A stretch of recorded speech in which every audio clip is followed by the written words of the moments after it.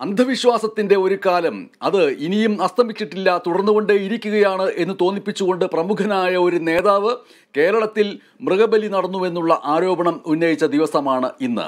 കർണാടകയിലെ കോൺഗ്രസ് സർക്കാരിനെ താഴെയിറക്കാൻ കേരളത്തിലെ രാജരാജേശ്വരി ക്ഷേത്രത്തിൽ മൃഗബലി നടന്നു എന്ന ഡി കെ ശിവകുമാറിന്റെ ആരോപണം വിവാദത്തിലേക്ക് കടന്നിരിക്കുന്നു. ഈ ആരോപണം വിവാദത്തിലേക്ക് കടന്നിരിക്കുന്നു എന്ന് ഇന്നത്തെ ഒന്നാമത്തെ വാർത്തയിൽ ഞാൻ വായിക്കുമ്പോൾ സ്വാഭാവികമായും അതെങ്ങനെ വിവാദത്തിലേക്ക് കടക്കും എന്ന് തിരിച്ചു ചോദിക്കാൻ പ്രേക്ഷകർക്ക് കഴിയുന്നിടത്താണ് ഇത് കേരളമാണ് എന്ന് പറയാൻ കഴിയുന്ന അർഹത കേരളത്തിനുണ്ട് എന്ന് നമ്മൾക്ക് മനസ്സിലാക്കാൻ കഴിയുക. കാരണം ഒരു സർക്കാരിനെ താഴെ ഇറക്കാൻ വേണ്ടി മൃഗബലി നടത്തിയാൽ സർക്കാർ താഴെ വീഴില്ല എന്നത് യുക്തിയുടെ ഉത്തരമാണ് ലോജിക്കിന്റെ ഉത്തരമാണ്. അന്ധവിശ്വാസവുമായി ബന്ധപ്പെട്ട ഒരു കാര്യം വരുമ്പോൾ തന്നെ അതിനെ അർഹിക്കുന്ന അവജ്ഞയോടുകൂടി തള്ളിക്കളയാൻ കഴിയുക എന്നുള്ളതാണ് അത് വിവാദമായി എന്ന് പറയുന്നതിനേക്കാൾ ഏറ്റവും പ്രധാനപ്പെട്ട കാര്യം.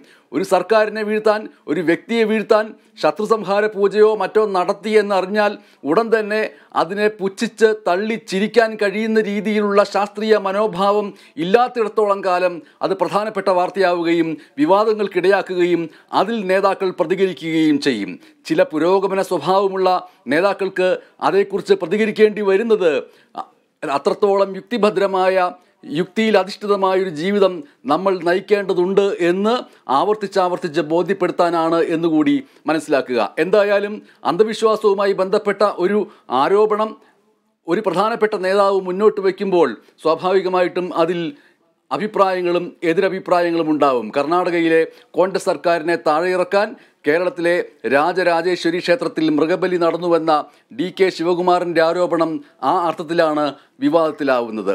ഭ്രാന്തൻ പരാമർശം എന്നാണ് അത് കേട്ടയുടൻ സി പി എം സംസ്ഥാന സെക്രട്ടറി എം വി ഗോവിന്ദൻ പറഞ്ഞിരിക്കുന്നത്. കേരളത്തിൽ നടക്കാൻ സാധ്യതയില്ലാത്ത സംഭവമാണെന്നും വിഷയം അന്വേഷിക്കുമെന്നും ദേവസ്വം മന്ത്രി കെ രാധാകൃഷ്ണൻ പ്രതികരിച്ചു. സ്വാഭാവികമായിട്ടും ഇത് കണ്ടുകൊണ്ടിരിക്കുന്ന പ്രേക്ഷകർ തെറ്റിദ്ധരിക്കില്ല എന്ന് ഉറപ്പുണ്ട്. വിഷയം അന്വേഷിക്കുമെന്ന് പറഞ്ഞതിന്റെ അർത്ഥം അങ്ങനെ ഒരു മൃഗബലി നടത്തി സർക്കാരിനെ വീഴ്ത്താൻ വേണ്ടി ശ്രമിച്ചു. ആ ശ്രമം വിജയിക്കുമോ ഇല്ലയോ എന്നുള്ളതല്ല മറിച്ച് ആ അന്ധവിശ്വാസ പ്രശ്നം നടന്നോ ഇല്ലയോ എന്ന കാര്യം അന്വേഷിക്കും എന്നത് തന്നെയാണ് അതിന്റെ കൃത്യമായ ഉത്തരം. എന്തായാലും കണ്ണൂർ തളിപ്പറമ്പിലെ ക്ഷേത്രത്തിൽ ഇത്തരം പൂജകളൊന്നും നടക്കാറില്ല എന്നാണ് ഭാരവാഹികളുടെ വിശദീകരണം.